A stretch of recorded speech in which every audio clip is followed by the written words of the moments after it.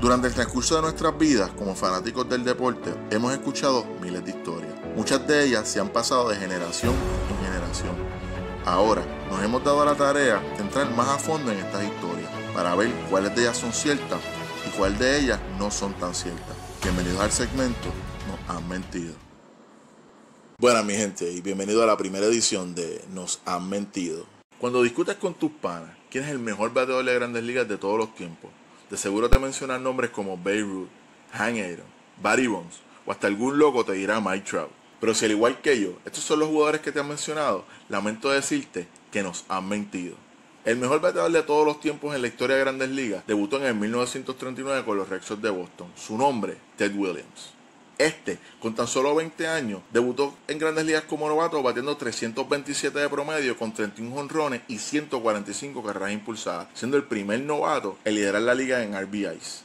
Dos años después, en 1941, fue el último jugador en bater sobre 400, con 406 de promedio. Para que tengan una perspectiva, en los últimos 80 años, solo dos jugadores se han acercado a este número. Tony Wynn, quien en 1992 para los Padres de San Diego batió 394, y George Brett, quien en 1980 batió 380 para los Reales de Kansas City.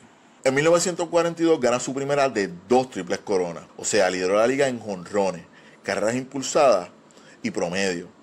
Para que tengan una idea, Miguel Cabral fue el último que logró esto en el 2017.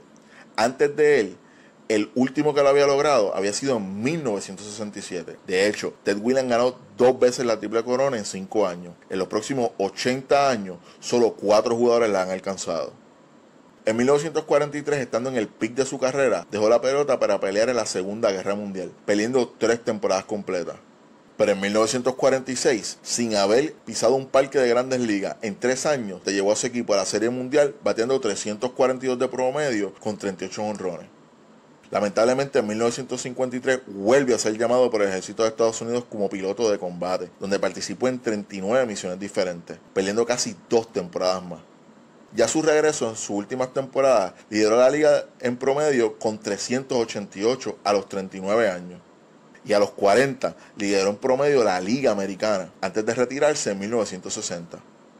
Ted Williams terminó con 344 de promedio de por vida, 521 honrones y 1839 carreras impulsadas. La pregunta que les dejo es, ¿con qué números pudo haber terminado Ted Williams de no haber perdido 5 temporadas debido a dos guerras diferentes? La respuesta es que probablemente se habría convertido en el mejor bateador en números en la historia de grandes ligas. Gracias por escuchar la primera edición de Nos han mentido, presentado por Sport Art Us Podcast. Y recuerda, puede que te hayan mentido, pero hoy conocer la verdad.